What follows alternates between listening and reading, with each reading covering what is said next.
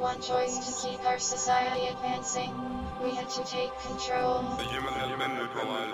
Las inusuales emisiones de láser procedentes del núcleo de la nebulosa de la hormiga sugieren que podría albergar un sistema estelar binario, según ha concluido un equipo internacional de astrónomos de la Agencia Espacial Europea. Utilizando los datos obtenidos por la sonda espacial Cassini de la NASA, científicos han detectado restos de moléculas orgánicas complejas, que se filtran desde el océano cubierto de hielo de Encélado, otra señal de que esta intrigante luna de Saturno, tiene todo lo necesario para sustentar la vida, y es el mejor candidato del sistema solar, para ello.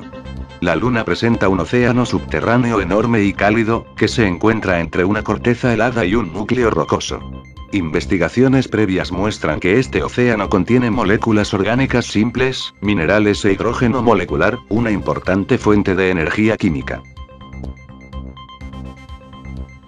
Astrónomos revelan que el espacio interestelar está impregnado de una fina niebla de moléculas similares a la grasa.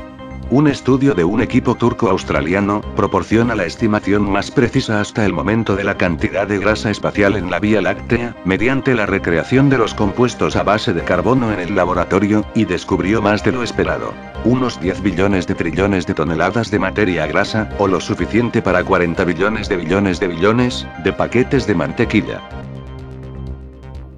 La empresa OpenAI, apoyada por Elon Musk, consigue producir una inteligencia artificial capaz de vencer a un grupo de humanos trabajando en equipo, en el juego Dota 2.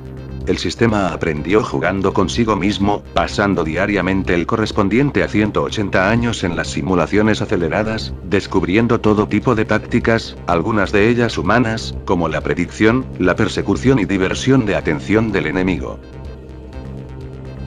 Facebook abandona el proyecto de Aquila, su drone router, su ambicioso proyecto de dron destinado a proveer Internet a los lugares más remotos de la Tierra.